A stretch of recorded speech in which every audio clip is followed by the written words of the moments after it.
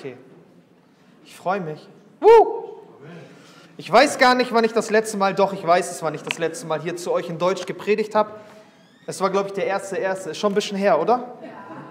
So. Ich war sonst immer, ihr wisst es, die Zeit, wenn ich eingesetzt war im Predigtdienst, hat mich mein lieber Bruder Lutz oben eingesetzt, in Englisch. Und äh, ich durfte da jetzt die paar Wochen ähm, das Wort in Englisch bringen, aber es ist so wunderbar, auch wieder hier zu sein in meiner Muttersprache. Wunderschön und ich freue mich auf euch und ich freue mich auf das, was der Herr für uns hat. Und der Herr hat heute vieles für uns. Der Herr hat heute vieles für uns. Ich habe, und das habe ich selten, einen Titel schon jetzt. Sonst kommt der Titel immer so irgendwie etwas später, aber ich möchte euch so ein bisschen Hunger machen auch drauf. Das Wort, das äh, ich heute habe, trägt die Überschrift, denn der Kampf ist nicht mehr eure Sache, sondern Gottes, von der Macht des Lobpreises. Es geht heute um Lobpreis, es geht heute um Gebet.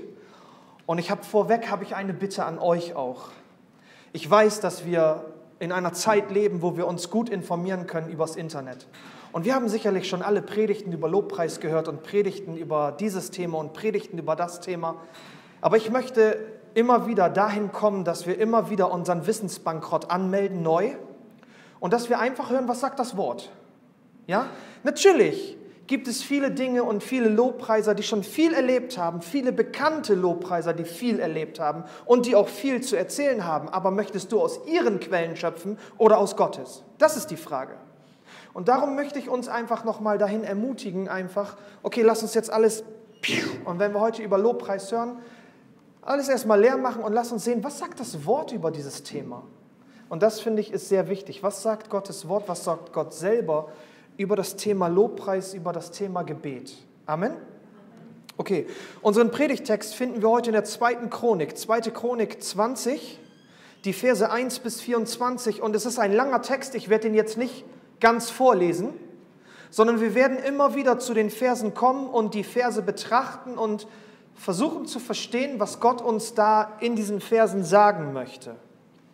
Aber bevor wir jetzt das Wort betrachten, möchte ich auch noch mal mit uns beten.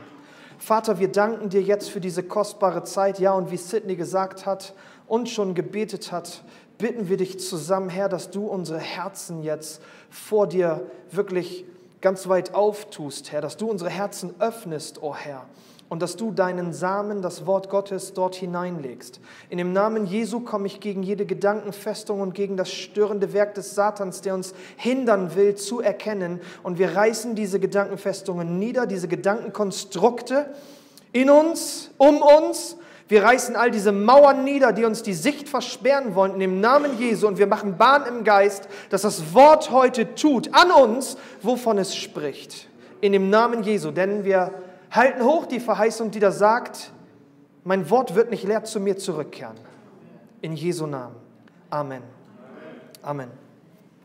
Okay, was finden wir heute in der zweiten Chronik 20 in den Versen 1 bis 24? Wir werden heute von einem König hören und dieser König heißt Josaphat. Und es war ein König, der auf den Wegen des Herrn ging. Das ist ähm, eigentlich, wenn man sich die Geschichte der Könige Israels und Judas mal anschaut, ist das eigentlich nicht so oft. Man kann schon sagen, es ist eine Seltenheit.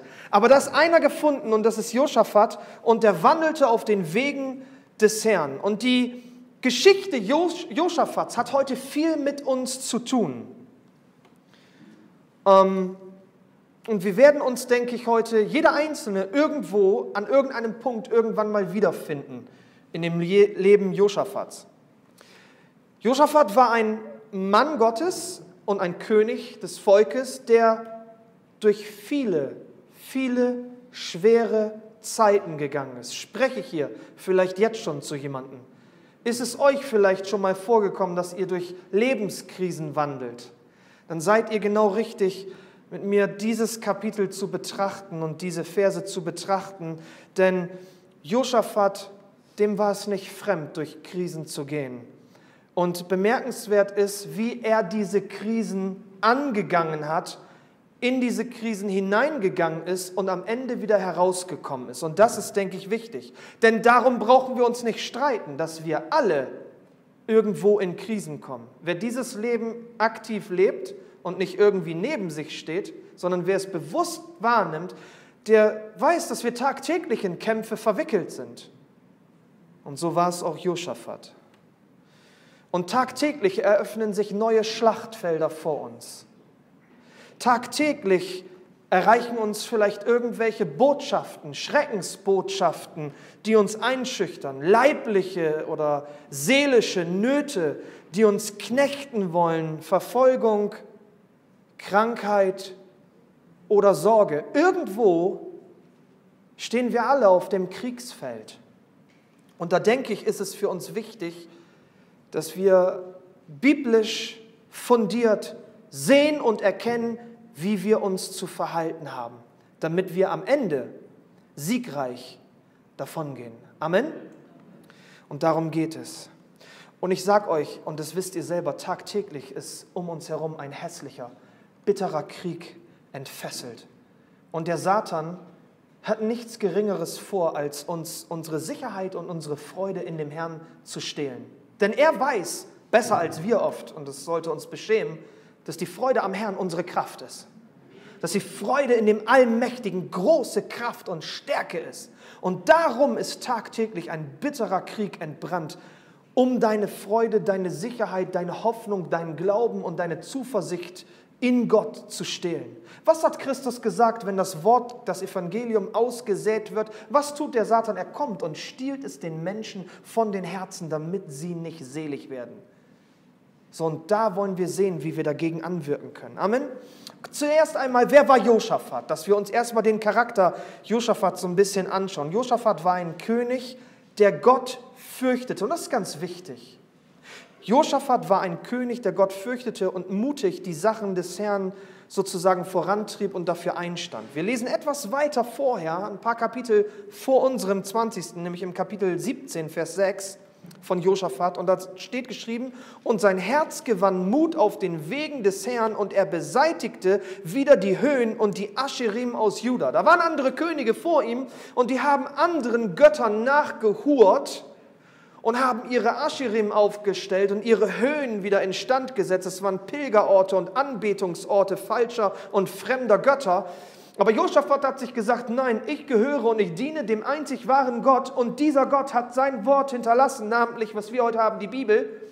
Und er hat ganz klar gesagt, wie wir anbeten sollen und wen wir anbeten sollen. Und so hat er die ganzen Standbilder der Ascherim niedergerissen. Es soll uns einfach nur zeigen, dass er wirklich ein Mensch war, ein Mann war, dessen Herz wirklich mit dem Herrn ging. In 2. Chronik 17,10 lesen wir, und der Schrecken des Herrn, und das ist eine Auswirkung von, von, von dem Segen, der auf, die, auf den kommt, der den Herrn fürchtet. Und der Schrecken des Herrn kam über alle Königreiche der Länder, die rings um Juda herum waren, sodass sie nicht gegen Josaphat kämpften.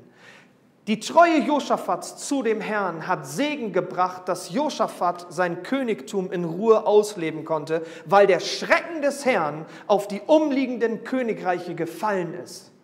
Wir kennen so eine Geschichte und so eine Begebenheit, als der Auszug aus Ägypten vollzogen war und das Volk durch die Wüste schon gegangen ist und Jahrzehnte bevor sie Jericho eingenommen haben, fiel schon der Schrecken auf Jericho, sodass als sie dann die Einnahme kurz zuvor hatten, dass die Bürger Jerichos schon gesagt haben, oh, wir haben schon, wir haben schon lange vor euch gehört, schon als der Herr euch durch Schilfsmeer geführt hat, haben wir schon gezittert. Und dies war nun auch hier bei Josaphat. Er wurde in Ruhe gelassen von seinen anderen Königskollegen da, die ihm nachstellen wollten, weil der Schrecken des Herrn auf sie gefallen ist. So Gott beschützte Josaphat und ließ ihm sozusagen sein Königtum äh, in Ruhe ausleben. Doch dann geschah etwas. Und ihr Lieben, das, das, das ist wieder so, so ein Bildnis auch für uns. Dann geschah etwas. Auch wir, wir sind gottesfürchtig und wir sind aber dennoch nicht vor Krisen verschont. Dass du zu Christus gehörst, heißt ja nicht, dass du auf einmal in so einer gebetteten Nebelwolke bist, die vielleicht noch rosarot glitzert und dir passiert nichts. Nein, im Gegenteil, ich habe da schon öfters von gepredigt, weil wir zu Christus gehören, sind wir tagtäglich in einem Krieg verwickelt. Da ist ein Widersacher, der uns wegreißen will von dem Herrn, aber der Herr beschützt uns. Aber hier geschah etwas bei Josaphat. Gott erlaubte den Feinden, dass sie sich gegen Josaphat erheben. Also Gott hat sozusagen seine souveräne Hand des Schutzes von Josaphat einmal weggezogen. Nun gehen wir in unseren Text, 2. Chronik 20, 1 bis 2. Und es geschah danach, da kamen die Söhne Moab und die Söhne Ammon und mit ihnen einigen von den Moenitern zum Kampf gegen Josaphat. Und man kam und berichtete Josaphat, und jetzt kommt der Bericht, eine große Menge ist gegen dich gekommen von jenseits des Meeres, von Aram, und siehe, sie sind schon in Hazison Tama, das ist Engedi. So für uns jetzt erstmal, okay, Josaphat war unter dem Schutz des Herrn und Gott hat auf einmal den Schutz von Josaphat weggenommen, sodass die umliegenden Könige und Königreiche, das pustet hier immer so ein bisschen, dass die umliegenden Könige und Königreiche nun auf einmal angefangen sind, angefangen haben, Josaphat attackieren zu wollen. Für uns jetzt, warum lässt Gott sowas zu? Habt euch schon mal die Frage gestellt, warum lässt Gott das eigentlich zu? Ich sage euch, das Warum wird uns immer im Kreis drehen lassen. Das Wozu ist viel besser, wenn wir das mal fragen. Warum führt zu nichts? Frage lieber, wozu dient es jetzt? Und auch hier hat es zu etwas gedient. Wozu dient es, dass diesem Josaphat jetzt sozusagen so eine furchtbare Botschaft übermittelt wird? Und ich persönlich glaube, dass es für Josaphat an der Zeit war, Gottes Herrlichkeit, gesehen in großer Rettung und Gnade, neu kennenzulernen. Er hat, ich meine, Josaphat hat etwas von der Herrlichkeit Gottes gesehen, indem Gott auf wundersame Weise seine Souveränität offenbart hat und die umliegenden Völkerschaften sozusagen gehalten hat, dass sie ihn nicht angreifen. Aber jetzt hat Gott gewollt, okay, ich möchte meine Herrlichkeit erweisen, meine Macht erweisen, meine Majestät erweisen auf andere Art und Weise.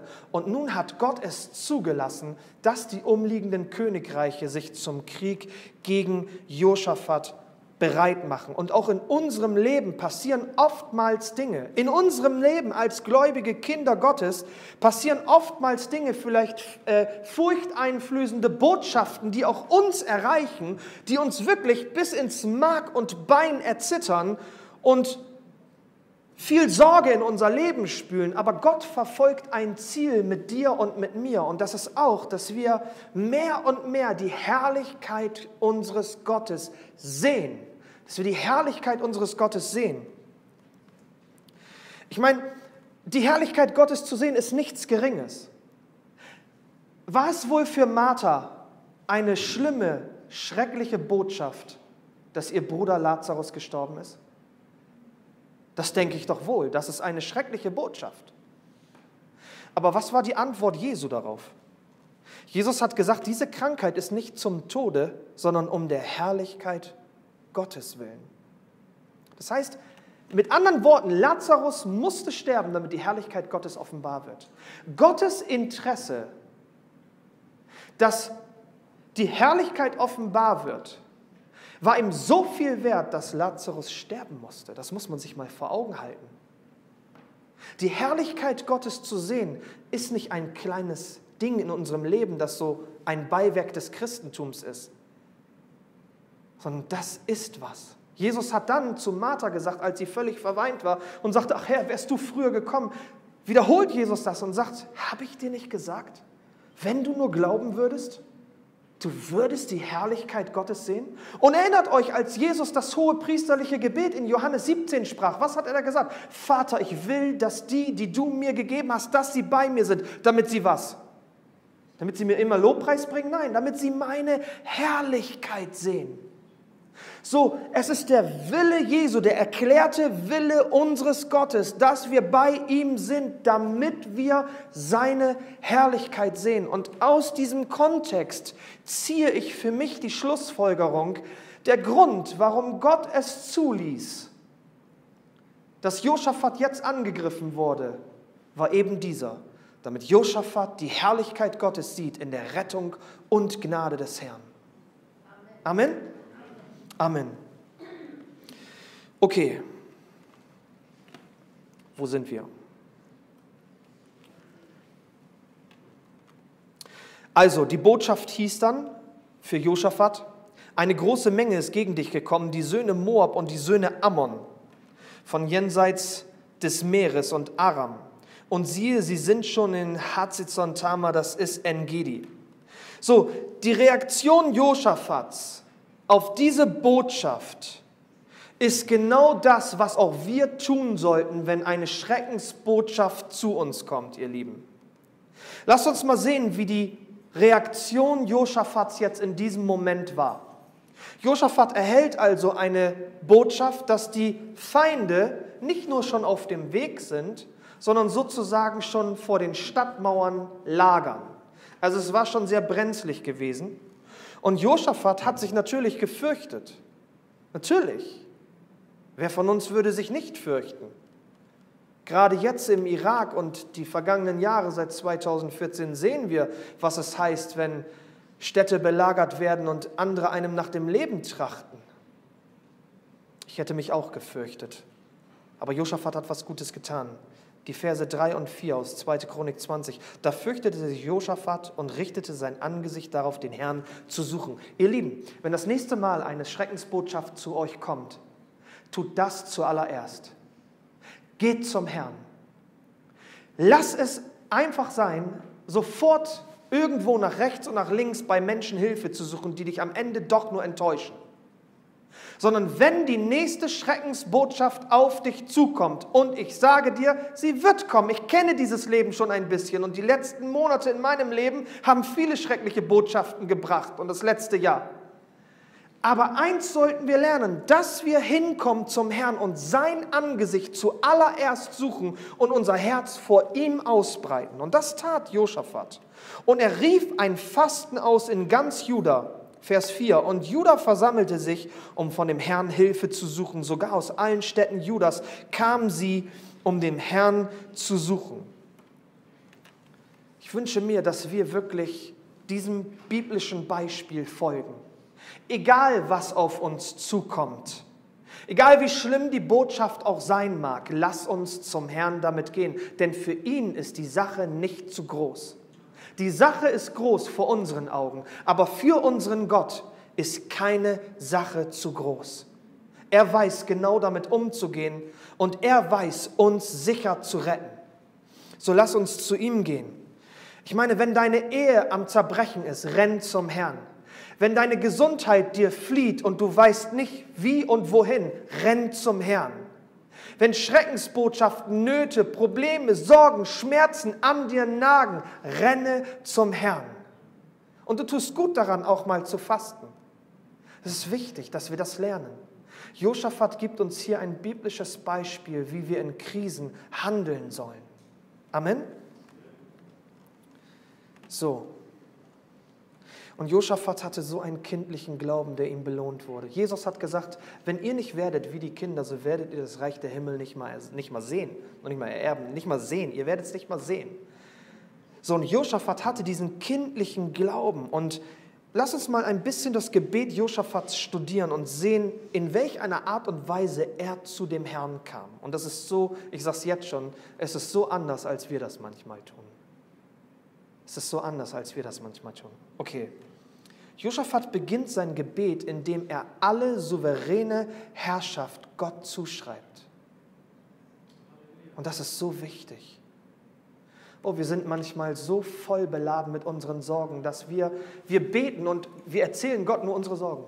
Wir fangen an und, und ja, wir beten zwar, aber es sprudeln nur Sorgen aus uns. Und, und, und wir merken, wie, wie hoffnungslos und, und, und immer ängstlicher werden wir, weil, weil Unsere ganzen Gebete sind nur gefüllt, der Inhalt unserer Gebete ist nur erfüllt mit den Sorgen, als müssten wir Gott informieren, was mit uns los ist. Ihr Lieben, das müssen wir nicht.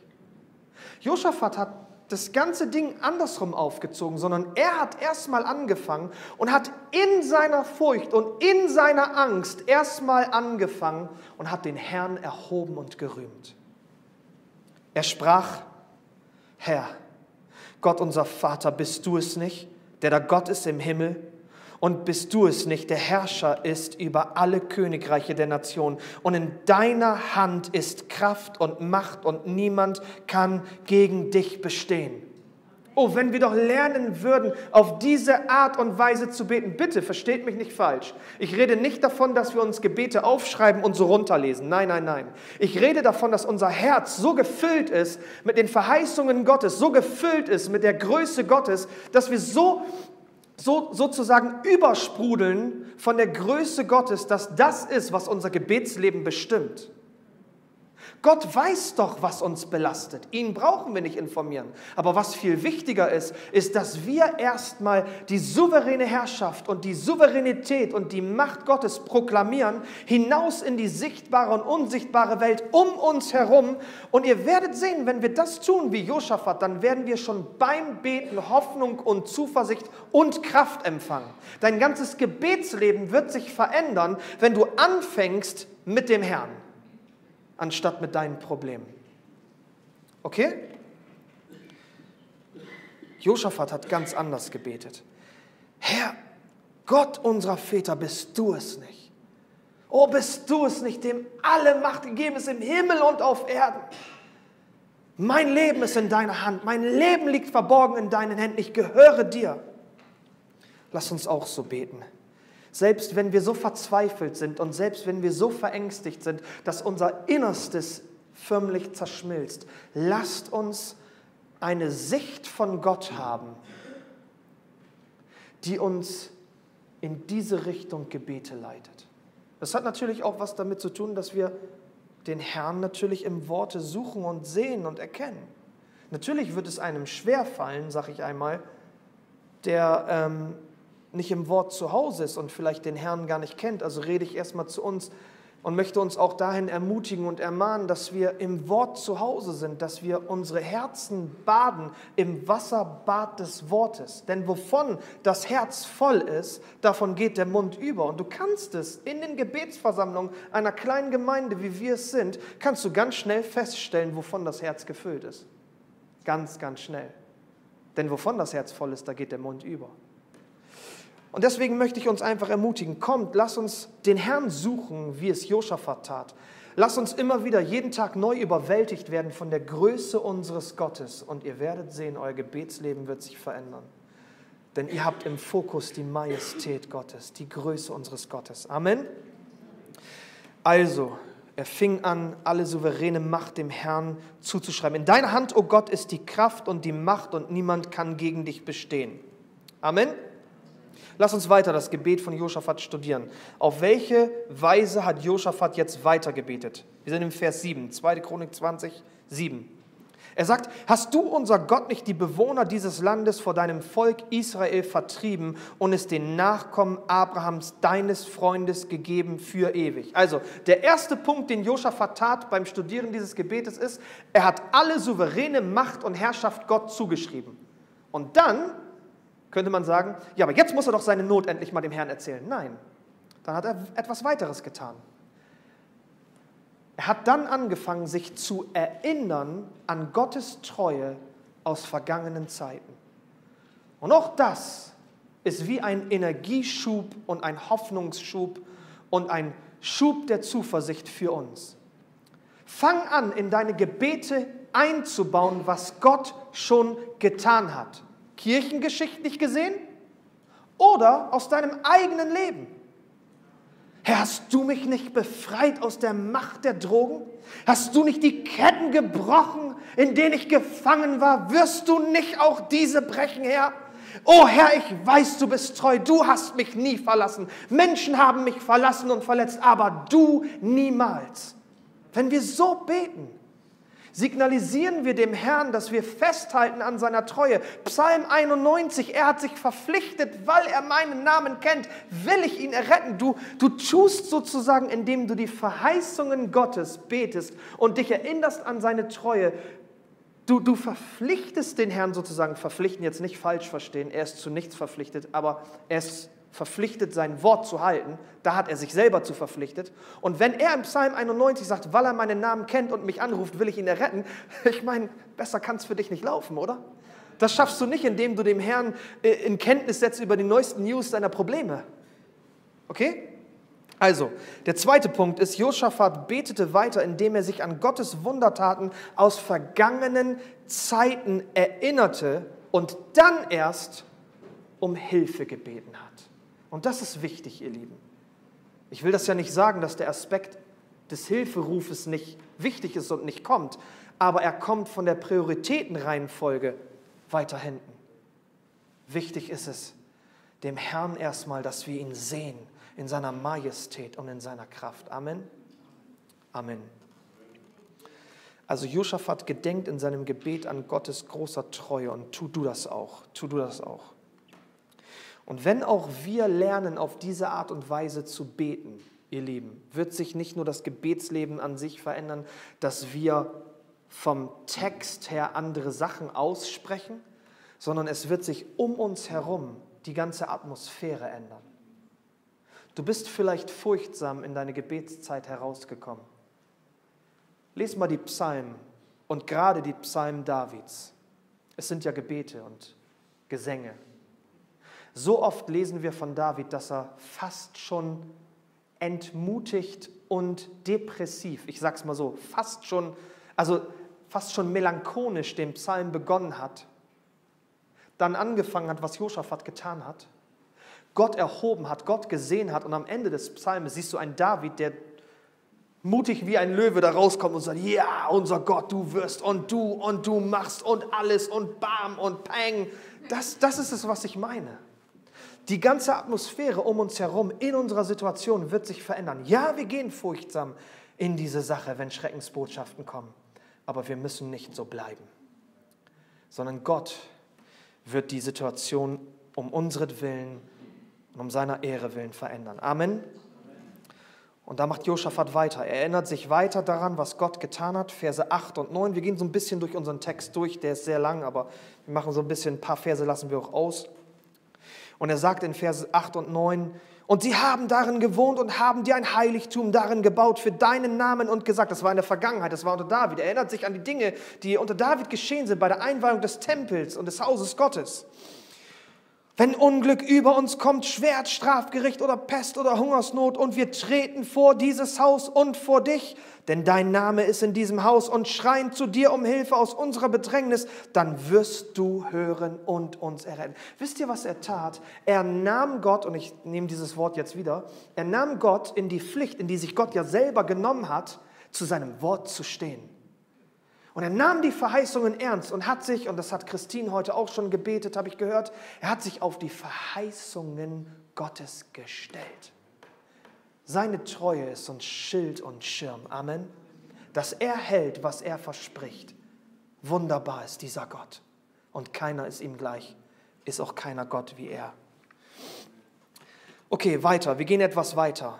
In Verse 10 bis 12 bereitet Josaphat dann zum Schluss seine Bitte sozusagen vor und er, er breitet sie aus vor dem Herrn.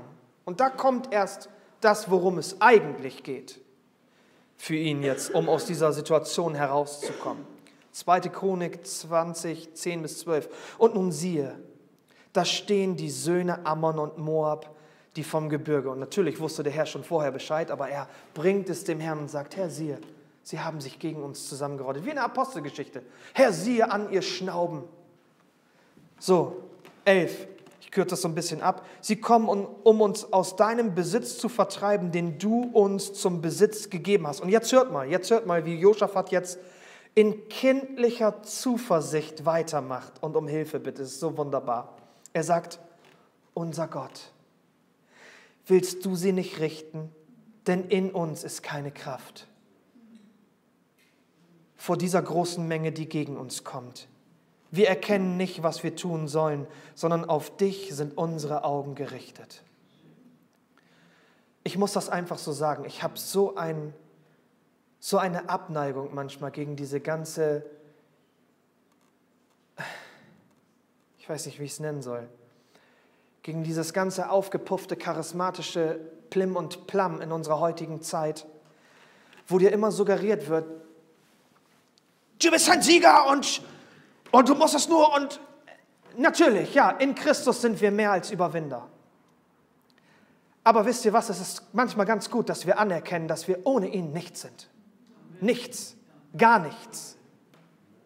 Und all diese charismatischen Wohlstandsevangeliumsprediger, die sich hinstellen und sagen, hier bin ich der Meister des Glaubens, wenn Gott seine souveräne Hand wegziehen würde, würden sie sehen, sie würden sich nicht mal die Schuhe zubinden können, ohne dass die Kraft Gottes auf, auf, auf sie rauffällt. Und wir sollten auch anfangen, dass wir Gott immer wieder signalisieren, Herr, ich kann nicht ohne dich. Ich, ich, ich kann nicht ohne dich. Was soll ich denn ohne dich tun?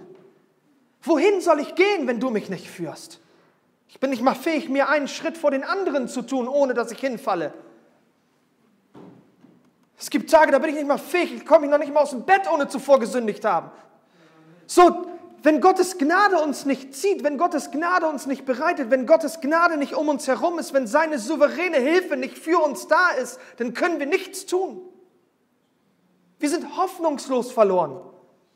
Fernab von Christus, sag ich es mal so, sind wir einfach nur Empfänger eines gerechten Strafgerichtes. Zu empfangen, was wir verdient haben. Wir sind verloren. Du und ich, wir sind verloren ohne Christus. Und es tut gut, dass wir uns daran erinnern, dass nur durch Christus und in ihm all unsere Sicherheit ist. Nicht in meinem Arm, nicht in meiner Position auf meiner Arbeit, nicht durch meinen Job füllt sich mein Kühlschrank, nicht durch meine Kraft schaffe ich es, meine Familie voranzubringen oder für meinen Sohn oder meine Töchter oder meine Frau da zu sein, ein Ehemann nach dem Herzen Gottes zu sein, ein Vater nach dem Herzen Gottes für meine Kinder. Ich schaffe es aus mir selbst heraus nicht, aber die Gnade Christi hat aus mir gemacht, was ich heute bin, hat Paulus gesagt. So, und das ist es nur, worauf ich unser Augenmerk lenken will. Das, ist, das hat etwas mit kindlichem Vertrauen zu tun, was Josaphat hier tut. Und er sagt, wir erkennen nicht, was wir tun sollen. Wir halten uns manchmal für so weise, dass wir wüssten, wo es lang geht. Wir sind die Macher. Ja, sind wir nicht. Wir erkennen gar nicht, wohin wir gehen sollen. Nicht umsonst sagt uns das Neue Testament, hey, heute sprecht ihr so, dass ihr morgen in diese und jene Stadt gehen wollt, aber sprecht nicht so. Sagt lieber, so der Herr will und wir leben. Ich meine, das sollte uns irgendwie zu denken geben. Wir machen uns so große Pläne. Ich weiß nicht mal, ob ich morgen auf die Arbeit komme. So der Herr will und ich lebe. Und wenn nicht, dann weiß ich, dass ein besserer Platz auf mich wartet. Juhu! Okay, ich schweife ein bisschen ab. Ich möchte, dass wir noch einmal sehen, in welch kindlicher Zuversicht Josaphat vor Gott tritt. Er sagt in Vers 12, unser Gott, willst du sie nicht, willst du sie nicht richten? Denn in uns ist keine Kraft vor dieser großen Menge, die gegen uns kommt. Er sagt in uns nicht, aber in dir. In uns ist keine Kraft vor dieser großen Menge, die gegen uns kommt. Wir erkennen nicht, was wir tun sollen, sondern auf dich, oh ihr Lieben, auf dich sind unsere Augen gerichtet. Mach das zu deinem täglichen Gebet. Wenn du morgens aufstehst, sag dem Herrn, Herr, ich weiß nicht, wo es heute für mich lang geht. Und in mir selbst, aus mir selbst, ist keine Kraft, um überhaupt erstmal aus dem Bett zu steigen. Aber Herr, auf, auf dich sind meine Augen gerichtet. Auf dich sind meine Augen gerichtet. Amen? Amen. Ich sage es mal so, wer sich so vor Gott demütigt, der kann fest mit seiner Hilfe rechnen. Amen. Auch wenn die Hilfe Gottes Gnade ist, aber mit dieser Gnade kannst du dann rechnen. Wer sich demütigt vor dem Herrn, der wird von ihm erhöht werden, ist eine Verheißung. Amen. Und wer sich so vor dem Herrn demütigt, der kann fest mit seiner Hilfe rechnen. Und seht mal, was Gottes Antwort auf diese Art der Herzenshaltung und dieses Gebet war. Wir gehen weiter in unserem Predigtext 2. Chronik 20, 15 bis 17. Und Jahasiel sprach, Jahasiel ist jetzt hier ein Mann Gottes, über den der Geist Gottes kam und er sollte nun dem König prophezeien. Hier steht nun, und Jahasiel sprach, merkt auf, ganz Juda und ihr Bewohner von Jerusalem und du, König Josaphat, so spricht der Herr zu euch, fürchtet euch nicht und seid nicht niedergeschlagen vor dieser großen Menge, denn der Kampf ist nicht eure Sache, sondern Gottes. Halleluja, das sind Botschaften, die wir nach Schreckensbotschaften brauchen. Dass wir wirklich hören, fürchte dich nicht. Siehe, der Kampf ist nicht mehr dein. Es ist Gottes Sache. Amen. Morgen zieht gegen sie hinab Siehe, sie kommen die Anhöhe von Zies herauf und ihr werdet sie am Ausgang des Tales finden vor der Wüste Jeruel. Nicht ihr werdet dabei kämpfen müssen. Tretet hin, Steht und seht die Rettung des Herrn, die er euch verschafft. Juda und Jerusalem, Jerusalem, fürchtet euch nicht und seid nicht niedergeschlagen. Zieht ihnen morgen entgegen und der Herr wird mit euch sein. Oh, wie wunderbar sind diese Verheißungen. Wie wunderbar sind diese Verheißungen, ihr Lieben. Wundervolle, mutmachende Verheißungen sind das. In Vers 15 sagt er, fürchtet euch nicht und seid nicht niedergeschlagen vor dieser großen Menge. Menschlich gesehen hätte man niedergeschlagen sein müssen und voller Furcht sein müssen. Aber Gott sagt, nein, nein, nein, die Sache ist nicht mehr eure Sache, ich übernehme die Sache jetzt. Souveränität, sage ich nur. Ich meine, Josaphat hat gut daran getan, dem Herrn alle Souveränität zuzuschreiben. Und auch wenn es nicht hier so geschrieben steht, gehe ich fest davon aus, dass der Herr gesagt hat, das gefällt mir. Und ich werde dir zeigen, dass es so ist. Wunderbar, oder? Ist wunderbar. Vers 17, nicht ihr werdet dabei kämpfen müssen, tretet hin, steht und seht die Rettung des Herrn, die er euch verschafft, Juda und Jerusalem. Amen. Also Josaphat hat bekannt und ausgerufen, in uns ist keine Kraft. Und Gott hat geantwortet und hat gesagt, alles klar, ich weiß, dass in euch keine Kraft ist. Ich habe es zur Kenntnis genommen. Hast du gut daran getan, das nochmal zu bekennen? Ja? Jesus ist der hohe Priester unseres Bekenntnisses. Du tust gut daran, das zu bekennen. Und Gottes Antwort war, fürchtet euch nicht, der Kampf ist nicht eure Sache, sondern meine. Wunderbar, wunderbar, Halleluja. Und lass uns jetzt sehen, wir wollen weiter Josaphat studieren, wie er dann weiter hineingegangen ist in die Situation. Was jetzt seine Reaktion auf diese verheißungsvolle Antwort Gottes war. Die Verse 18 bis 19, 2. Chronik 20, 18 bis 19. Da neigte sich Josaphat mit dem Gesicht zur Erde und ganz Juda und die Bewohner von Jerusalem fielen nieder vor dem Herrn, um den Herrn anzubeten. Halleluja. Und dann geschah etwas, ihr Lieben. Vers 19. Und die Leviten von den Söhnen der Kehatiter und von den Söhnen der Korachiter standen auf, um den Herrn, den Gott Israels, zu loben mit überaus lauter Stimme. Okay, wir sehen hier wieder jetzt ein Prinzip. Ich habe das schon mal von gepredigt, ich glaube, es war zum Jahreswechsel, wo es auch um Lobpreis und Kriegsführung, geistliche Kriegsführung ging. Und hier sehen wir dasselbe Prinzip. Ja? Lobpreis mitten im Krieg. Die Botschaft war, sie stehen vor den Toren der Stadt. Zieht zu ihnen hinaus. Sie sind schon bereit, alle zum Kampf. Aber dann haben sich die Leviten erhoben. Und ihr Lieben, lasst uns beachten, die Leviten waren nicht irgendwie so eine charismatische Truppe, die jetzt aufgestanden ist, um zu singen, um die kleine Atmosphäre so ein bisschen aufzulockern. So nach dem Motto, oh, die Versammlung ist so ein bisschen niedergedrückt, die sind jetzt alle so anbetend. Da würde es jetzt mal gut passen, wenn wir so ein bisschen Lobpreis mit reinmixen, damit der Gottesdienst sich so ein bisschen gut gestaltet, weil wir wollen ja auch die Gäste erreichen. Das waren aber nicht die Leviten sondern die Leviten waren die von König David zuvor bestimmte Fraktion sozusagen unter den Juden, die nur einen einzigen Dienst hatten, und das war Lobpreis. Sie waren für den Gesang am und im Hause des Herrn zuständig. Sie waren die sozusagen ordinierte Lobpreistruppe des Volkes Gottes. Und dass diese jetzt aufgestanden sind und Lobpreis dort gemacht haben, war nicht bloßer Zufall, sondern es war der Beginn der geistigen Kriegsführung. Der Krieg hat auf dem Schlachtfeld noch nicht begonnen, aber die Leviten haben ihre Position erkannt und haben schon, bevor der Krieg draußen gekämpft wird, angefangen, die Schlacht im Geiste zu führen. Und das ist so bemerkenswert.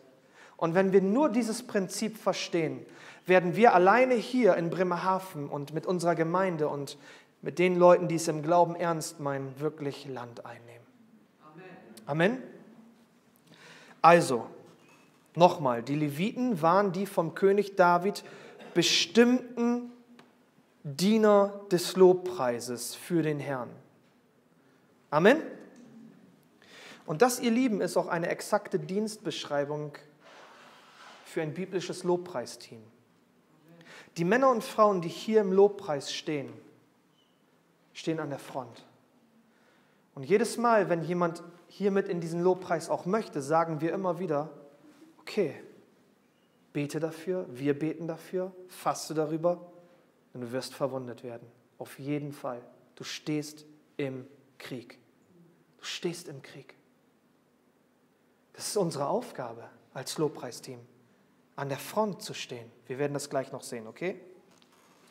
Ausgesonderte Männer und Frauen Gottes, die Tag für Tag, Woche für Woche, Monat für Monat, Jahr für Jahr in den Kampf ziehen und das Volk Gottes mitziehen vor das Angesicht Gottes.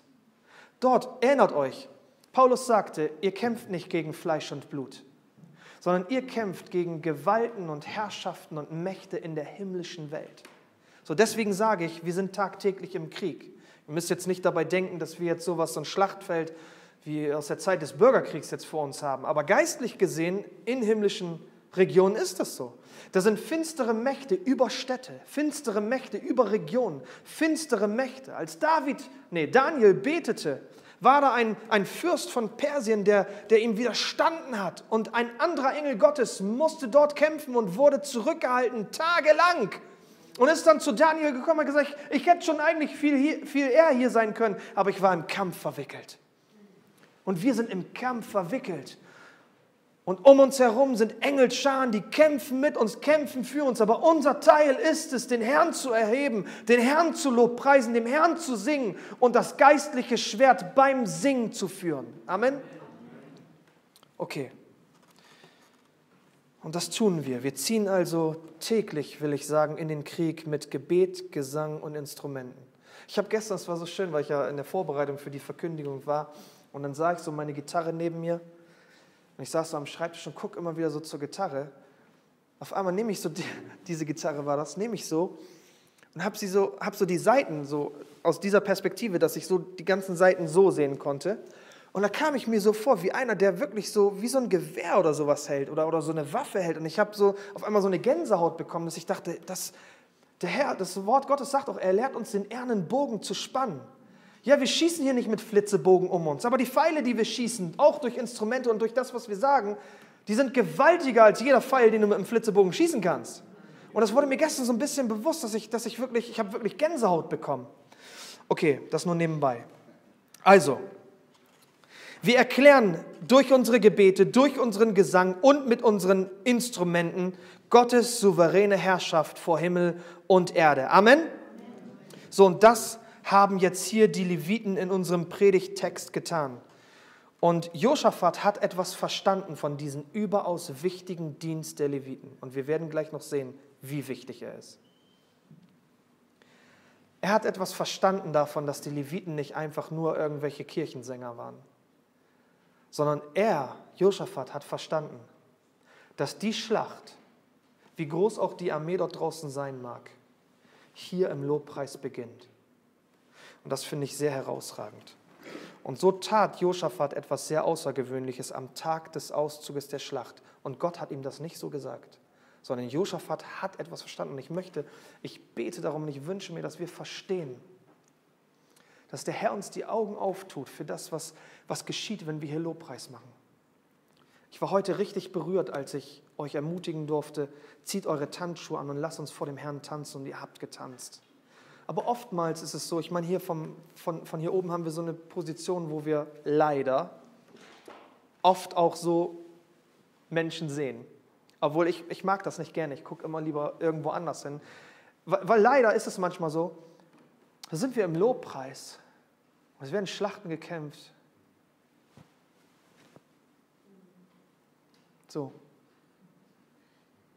Ich meine, ich, ich, ich will es kein, kein jetzt irgendwie ich will da keinen auf die Füße treten. Wir sind, wir sind alle ja irgendwie anders gestrickt. Aber ich sage dir eins, egal wie ruhig du bist, egal wie ruhig und was für ein ruhiges Gemüt du auch hast, wenn du erkennst, was im Lobpreis abgeht um uns herum, in der geistlichen Welt, dann wirst du deine Hände nicht mehr unten halten können. Du musst sie erheben. Du, du musst sie erheben. Nicht, weil du gezwungen wirst von irgendjemandem, sondern weil du überwältigt wirst von dem, was in der Himmelswelt abgeht. Als Elisa stand vor der Heeresmacht, die ihn umringt hat, war der Knecht Elisas völlig verängstigt und gefürchtet. Und Elisa sprach, fürchte dich nicht, die, die mit uns sind, sind mehr als die, die gegen uns sind. Und dann hat er gebetet, der Prophet, Herr, tu ihm die Augen auf. Und was sah der Knecht? Die Berge um ihn herum standen in Flammen. weil das Herr Gottes, das Herr Gottes um sie herum war.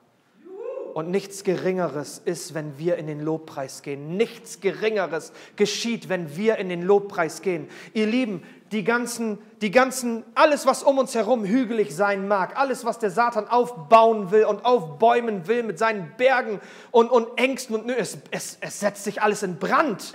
Wenn wir den Herrn erheben und sein, unsere Stimmen erheben mit Gesang und Instrumenten, der Herr zieht für uns in die Schlacht. Amen. Amen. Und so tat Josaphat, ich sage es nochmal, etwas Außergewöhnliches, Verse 21. Und er beriet sich mit dem Volk und stellte Sänger für den Herrn auf, die Loblieder sangen in heiligem Schmuck, indem sie, was steht da bei euch, vor oder hinter den Gefolgschaften standen? Wo standen die Lobpreissänger? Vor. Josaphat nahm die Lobpreissänger, die, die dort nun waren, die angetan waren im heiligen Schmuck, in Heiligkeit, abgesondert für den Herrn, mit all ihren Instrumenten, und hat die Sänger vorne an die Front gestellt. Und darum habe ich vorhin gesagt, wenn wir als Lobpreisteam auch hier zusammen sind, wir stehen an der Front. Und ja, wir werden vielleicht auch mal verwundet, aber wir stehen dort und es ist ein Krieg entbrannt. Und Josaphat hat das Lobpreisteam Israels und Judas sozusagen vorne an in die ersten Schlacht reingestellt und danach erst die Kämpfer. Das ist wunderbar, das muss ein wunderbares Bild gewesen sein. Also er beriet sich mit dem Volk und stellte die Sänger für den Herrn auf, die Lobpreislieder sangen in heiligem Schmuck, indem sie vor den zum Kampf gerüsteten auszogen und sprachen, preist den Herrn, denn seine Gnade währt ewig. Halleluja. Amen. Ihr Lieben, ist das nicht atemberaubend? Ist absolut atemberaubend. Ich meine, lass uns das mal vor Augen führen. Jeder weltliche General würde uns jetzt absolute Dummheit attestieren. Er würde sagen, hör mal zu, mein Junge, die Lobpreiser, die gehören am besten noch in die kleine Spielmannskapelle, die ganz hinten, ganz hinten hinter den Schlachtreihen hinterherzieht und dann vielleicht ein kleines Tamtam -Tam macht. Aber ich sag dir jetzt mal was, ich bin General und ich war schon auf vielen Schlachtfeldern dieser Erde und ich sag dir was, die stärksten Männer und die besten Fahrzeuge und die stärksten Waffen, die müssen ganz nach vorne. Aber Gott sagt, verlass dich nicht auf deinen gesunden Menschenverstand, sondern vertraue auf den Herrn. Wir stellen die Lobpreissänger ganz nach vorne. Amen. Amen. Wir stellen die Lobpreissänger nach vorne. Und auch wenn es aus weltlicher Sicht eine absolut dumme taktische Kriegsführung ist, wir stellen den Lobpreis nach vorne. Amen. Amen. So. Als die Leviten an der Front ihre Stimme erhoben, entblößte Gott seinen mächtigen Arm. Wunderbar. Vers 22. Seht ihr, wie schnell das geht, dass man so durch 24 Verse geht? Gerade mal fünf Minuten haben wir verbracht und wir sind schon am Vers 22. Okay. Zu der Zeit, Vers 22, zu der Zeit, da sie mit Jubel und Lobgesang anfingen, legte der Herr einen Hinterhalt gegen die Söhne Ammon, Moab und von dem Gebirge Seir, die gegen Juda gekommen waren, und sie wurden geschlagen. Ihr Lieben, nicht bevor und auch nicht nach dem, sondern zu der Zeit, als sie mit Lobgesang anfingen, legte der Herr einen Hinterhalt. Überleg dir mal, was das heißt. Vielleicht bist du heute hier und du sagst dir, okay, ich hab's nicht so mit dem Singen. Ich bin nicht unbedingt so der Sänger. Aber ich sag dir, einige Dinge geschehen erst dann, wenn du singst. Es gibt Dinge, die geschehen auch schon vorher. Ja, und der Herr handelt auch, wenn wir beten, aber es gibt spezielle Dinge, die geschehen, wenn du anfängst zu singen. Gott hat den Hinterhalt nicht zuvor gelegt und Gott hat den Hinterhalt auch nicht danach gelegt, sondern zu der Zeit, als sie den Lobgesang erschallen ließen, hat der Herr den Hinterhalt gelegt. Amen. Ist gewaltig. Ist einfach gewaltig.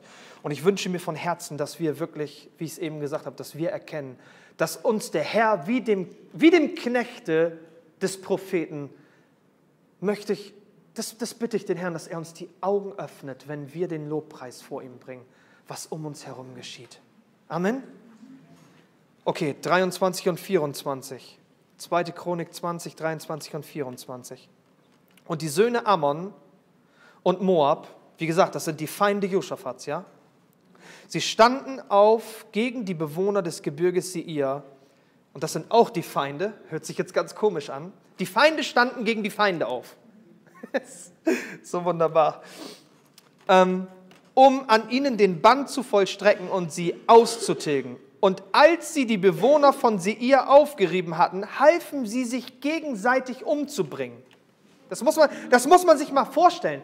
Da ist eine ganze Armee, ganze Gefolgschaften von mehreren Ländern sind gekommen, um Josaphat zu vernichten. Aber als die Lobpreissänger angefangen haben mit dem Gesang, hat der Herr so eine Verwirrung im Lager des Feindes gestiftet, so ein Durcheinander gestiftet, dass sie angefangen haben, sich selber zu bekriegen. Und als sie gesehen haben, da ist ja kaum noch einer übrig, da haben der Rest sich auch noch selber umgebracht. Das heißt also, das Volk Gottes hat nicht mal einen Finger krumm gemacht, um den Sieg zu erringen, weil der Herr gesagt hat, es ist nicht mehr eure Sache, sondern meine. Wunderbar. Und Judah kam auf den Aussichtspunkt zur Wüste hin und sie sahen sich nach der Menge um und siehe, da waren es Leichen, die auf der Erde lagen. Niemand war entkommen. So ist es, wenn der Herr in den Krieg zieht. Der Herr sprach, die Rache ist mein. Amen. So ist es, wenn unser Gott in den Krieg zieht. Und ich denke, dass uns der Herr durch den Vers 22 etwas sehr Bedeutendes im Hinblick auf geistgewirkten Lobpreis sagen möchte. Ihr Lieben, unser geistgewirkter Lobpreis, ich meine jetzt unser aller, nicht nur vom Lobpreisteam, sondern unser geistgewirkter Lobpreis bringt Verwirrung ins Lager des Feindes. Hör mich bitte, es ist so wichtig. Unser geistgewirkter Lobpreis, ob hier als Gemeinde oder zu Hause in deiner Kammer, bringt Verwirrung ins Lager des Feindes. Das ziehen wir aus dem Vers 22. So war es gewesen. Amen. Und ich bin fest davon überzeugt, dass Satan geistgewirkten Lobpreis der Kinder Gottes nicht ausstehen kann und flieht. Er kann es nicht aushalten. Er kann es nicht. Überleg dir das doch nur mal. Ich meine, durch was wurde er überwunden? Durch des Lammes Blut. Was sagt die Offenbarung? Wir waren heute durch das Zeugnis unserer Schwester Ines in der Offenbarung. Was sagt die Offenbarung? Und sie haben ihn überwunden durch das Blut des Lammes, durch das Wort ihres Zeugnisses und sie haben ihr Leben nicht geliebt bis zum Schluss. So, im Lobpreis rühmen wir die Kraft des Blutes des Lammes Gottes. Wir erheben im Lobpreis unsere Stimmen von dem Zeugnis, was Christus auf Golgatha tat. Der Satan ist durch diese Dinge überwunden worden. Er ist zu Fall gebracht worden. Er ist besiegt worden durch diese Dinge. Wenn er von diesen Dingen hört, kann er nicht bleiben. Er kann nicht. Er flieht, weil Golgatha real ist. Amen. So und darum, darum bin ich fest davon überzeugt, er wird fliehen, wenn wir lernen, geistgewirkten Lobpreis vor unseren Gott zu bringen. Amen. Und das nicht zuallererst aufgrund unseres tollen Gesangs, sondern weil Gott selber handelt und weil er im Lobpreis seines Volkes wohnt und thront. Amen. Weil er da ist, weil er gegenwärtig ist, wird Satan nicht bleiben können. Amen. Wenn Gott für uns ist, erschüttert er das Lager des Feindes und bringt große Verwirrung. Amen. Wie war es mit Paulus und Silas, als sie gefangen genommen wurden in Philippi? Paulus und Silas, ich meine, man muss sich das jetzt mal wirklich vorstellen. Diese beiden, die haben es wirklich nicht leicht gehabt. Die wurden mit Stöcken geschlagen, dann wurden sie nackig ausgezogen und dann wurden sie in das Innerste des Gefängnisses mit den Füßen in den Stock gelegt. Und wenn wir von einem Gefängnis sprechen, dann sprechen wir nicht von so einem komfortablen Gefängniszellen wie hier in Bremerhaven mit fließend Wasser. Ja, in Philippi gab es auch fließend Wasser, doch die Wände runter. Und dort saßen sie meistens in ihren eigenen Hinterlassenschaften, weil es wurde ihnen bestimmt nicht erlaubt, mal eben den Stock aufzuschließen, um dann äh, das nächste stille Örtchen aufzusuchen, sondern da bist du, eigentlich warst du dort am Hinsiechen.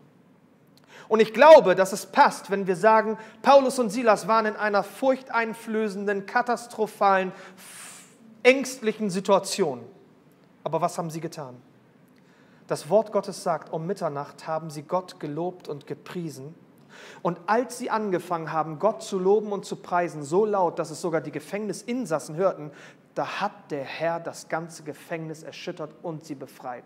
Ich sage euch das einfach nur, dass ihr auch nochmal ein neutestamentliches Zeugnis von dem habt, was Josaphat erfahren hat. Gott ist derselbe, er handelt heute noch genauso. Ihr, es, es hätte jetzt einer sagen können, ja, aber Sven, die Dinge, die du erzählst, sind alle aus dem Alten Testament, dafür brauche ich aber neutestamentliche Beweise. Hier hast du einen. Amen. Gott ist unser Lobpreis auch heute noch so wichtig wie zu der Zeit, als damals die Leviten. Heute sind wir die Leviten, die Lobpreise. Wir sind die Leviten, ja. Aber du hast Lobpreis in deiner Kehle und Gott nimmt es sehr, sehr ernst. Amen. Amen. Okay, wir kommen zum Schluss. Was lernen wir heute aus dieser Begebenheit im Leben des Königs Josaphat? Zunächst einmal Folgendes. Geistlicher Lobpreis und geistliche Kriegsführung, nehmt das jetzt mit bitte, dass ihr das für euch auch anwenden könnt. Wir lernen, dass geistlicher Lobpreis und geistliche Kriegsführung Hand in Hand gehen und sie beginnen mit den Gebeten des Glaubens, in denen wir alle Herrschaft und Souveränität Gott zuschreiben. Dort, dort schon. Ja, ich möchte fast sagen, Josaphat hat schon die Schlacht im Geist angefangen, als er so gebetet hat. Auf jeden Fall. Der zweite Punkt, geistlicher Lobpreis und geistliche Kriegsführung sollten beide mit Gesang getätigt werden. Beide, beide. Und jetzt soll keiner sagen, ich kenne uns ja so ein bisschen. Ja, aber Sven, ich kann nicht singen. Lass dich nicht belügen, das ist eine Lüge. Jeder von uns kann singen. Jeder von uns. Jeder von uns kann singen. Nicht jeder kann schön singen. Und nicht jeder trifft alle Töne. Und nicht jeder bleibt voll auf der Melodie und auf den Notensätzen und im Takt. Gebe ich zu. Aber jeder von uns kann singen. Lass dich nicht vom Satan belügen. Lass dich nicht vom Satan belügen, denn er weiß um diese mächtige Waffe. Ihr Lieben, der Satan weiß um diese mächtige Waffe. Und darum kommen wir oft her und sagen, ich kann nicht singen. Du kannst singen. Du kannst singen. Wenn mein Sohn, als er drei Jahre alt war, aus dem Kindergarten kam und mir seine Lieder vorgesungen hat, dann kannst du das auch. Und wisst ihr, wie es mich bewegt hat? Er kam mit drei oder vier Jahren, kam der kleine Bengel an und hat mir ein Lied vorgesungen. Und in diesem einen Lied waren vier verschiedene Lieder, sechs verschiedene Strophen und alles zusammen irgendwie, und es hat sich nach einem Lied angehört. Ich habe nicht herausgefunden, welches er jetzt gerade singt. Es waren wohl mehrere zu, zur selben Zeit, aber es war wunderbar. Es war wunderbar.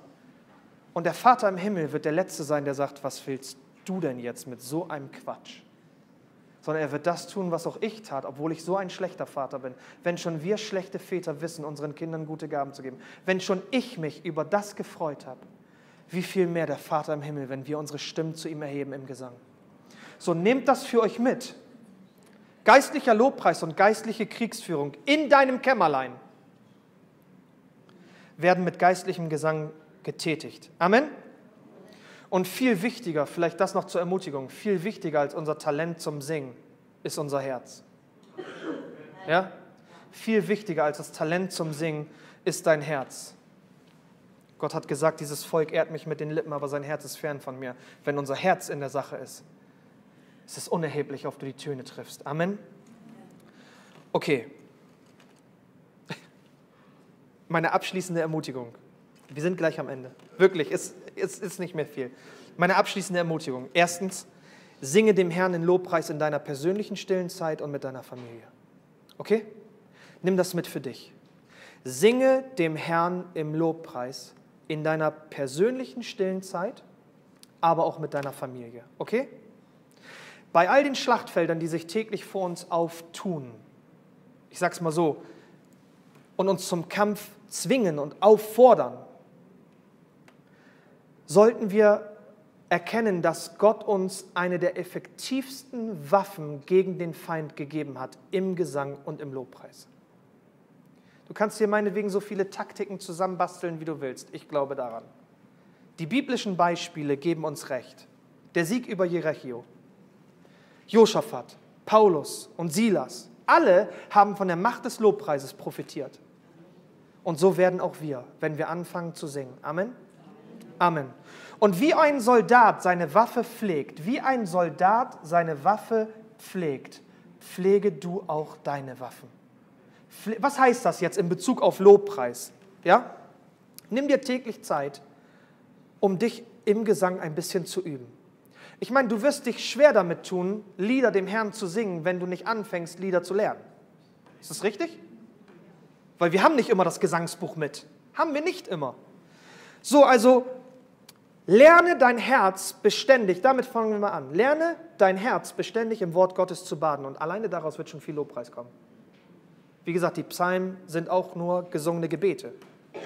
So, Lobpreis ist eine Herzensangelegenheit zuallererst. Dann, vielleicht, wenn es dir möglich ist, lerne ein Instrument zu spielen. Oh Sven, du weißt nicht, was ich alles so zu tun habe und du kennst meinen Zeitplan und meine Zeiteinteilung nicht. Nee, kenne ich auch nicht, aber ich habe auch mit 30 angefangen, Gitarre zu lernen. Und? Brauchte ich auch keine Musikschule für, dem Herrn gefällt. Wem es nicht gefällt, soll weghören.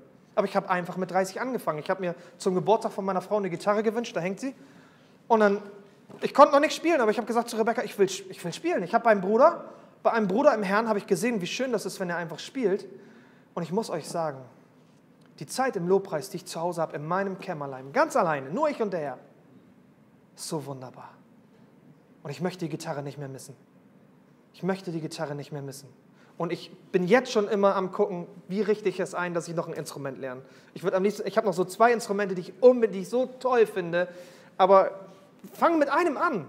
Fang an einfach. Fang an und der Herr wird dir da Zeit geben. Okay? Und mach Anbetung, und davon hat Lutz auch mal gepredigt, mach Anbetung wirklich und Lobpreis zu einem Lebensstil. Amen. Du wirst sehen, wie Gottes Arm sich entblößt, um dir zu helfen. Okay, und die zweite und letzte Ermutigung, danach ist Schluss. Mach dir bewusst, dass dieser Lobpreisdienst echter Krieg ist. Ja?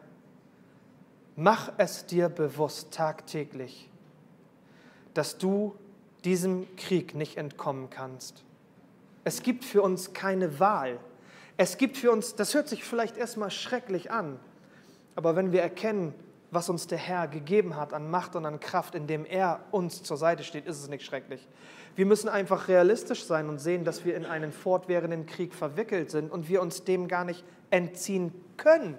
Ich meine, wo willst du denn hinfliehen?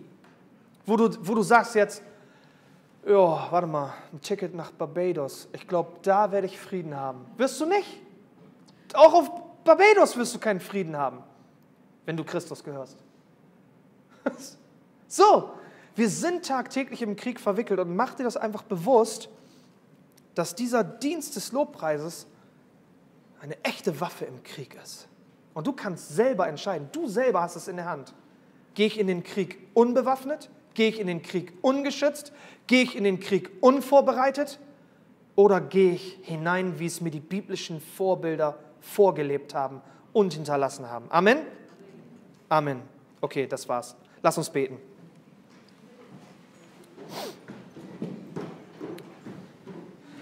Vater, wir danken dir von ganzem Herzen, Vater, für, für dein Wort und dass wir in deinem Wort immer wieder Sicherheit finden und sehen, wie du deine Gnade, deine Macht, deine Souveränität erwiesen hast, deine Treue erwiesen hast an den Deinen. Halleluja.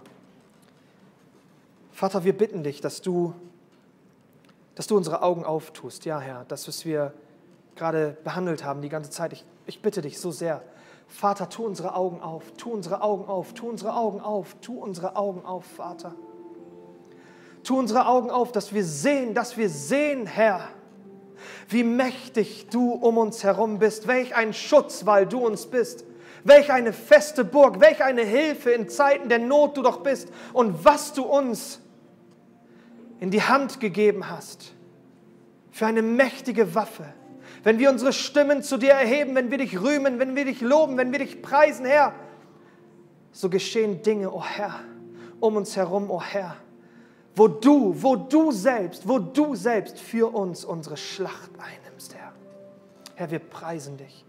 Wir preisen dich für deine Größe, für deine Majestät, für deine Gnade, dass du um uns herum bist und uns nicht alleine lässt.